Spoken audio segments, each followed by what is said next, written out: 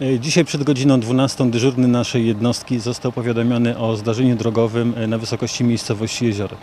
E, Ze wstępnych ustaleń policjantów, którzy przyjechali na miejsce zdarzenia wynika, że doszło do zdarzenia się samochodu marki Mercedes typu bus i samochodu marki Opel Astra.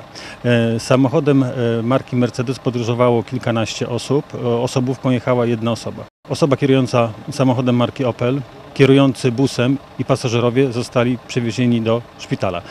Część pasażerów busa e, miała udzieloną pomoc na miejscu i z miejsca decyzją lekarza, lekarz podjął decyzję, że należy przewieźć ich do szpitala.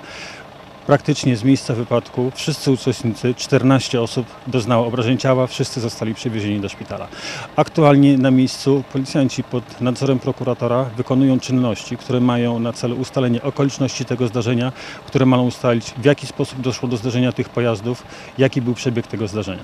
Z tego co jest mi wiadomo, do osoby ranne z miejsca wypadku zostały przewiezione karetkami do Łukowskiego Szpitala i do szpitala w Radzynie Podlaskim. Z naszych ustaleń wynika, że obydwa pojazdy poruszały się z kierunku od Łukowa w stronę Radzenia Podlaskiego.